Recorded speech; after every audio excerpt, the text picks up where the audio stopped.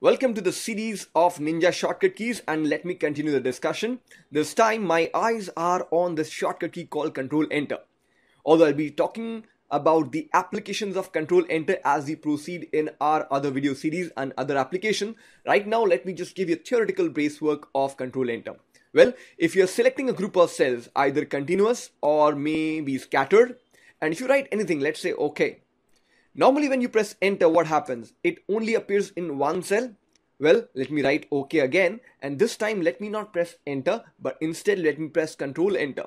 So what control enter does, all the cells that has been selected and you initiate a particular formula or a text or a number, any data point. And then if you press control enter, it replicates that same logic or text or number entire group of cells that you may have chosen. So in fact, at times I use this when I want to initiate a particular word and put that across different cells. So I select those cells and let's say I want to give a word, let's accept it. I type that word accepted. Notice the selection is still on and then I press control enter. There you go. That was control enter, the applications of which we'll see more in detail as we proceed. So this time I want you to notice how do I insert columns and rows using shortcut key? Let's say I want to insert a column between column B and column C. So what I do is I am going to press three shortcut keys one at a time. So I'm not going to press all the three keys at the same time. It's going to be one, then second key, and then the third key. So after having placed my cursor on the column before which I want to add another column, I press Alt, I, and then C.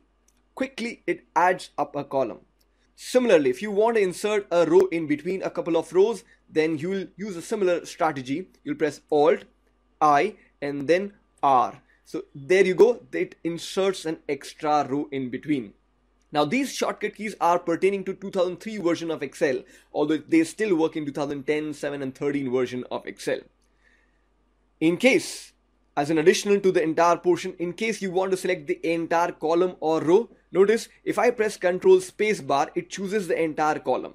Similarly, if I place my cursor on any one cell and if I press Shift space bar, it includes in its selection the entire row. So these shortcut keys find them mentioned where in the previous sheet. So the one that we have used in this particular video is Alt IC, Alt IR. We also spoke about Shift space bar and current Control space bar. Apart from this, as an uh, alternative to Alt IC instead of inserting a column through Alt IC, you perhaps can also use this shortcut key of Shift Control plus sign.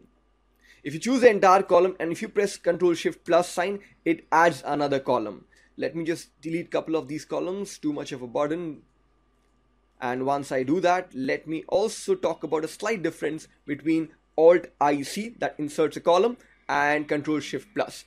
If you put your cursor on any one cell, not choosing a column separately, just one cell, and if you then press Control Shift plus, it asks you that whether you want to insert a cell, whether you want to insert an entire row, or whether you want to insert an entire column. So this option then allows you to choose between the four options and then decide after pressing enter. So what Alt IC is doing is just adding a pure column. Alt IR is adding a pure row, but Control Shift Plus will give you the option how you would want to proceed.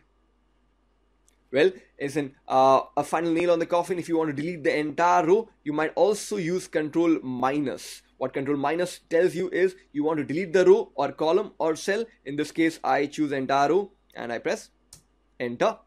So there you go. These are a couple of shortcut keys which will help you uh, manipulate the data, columns, rows, and work with different workbooks, worksheets in a little bit faster mode.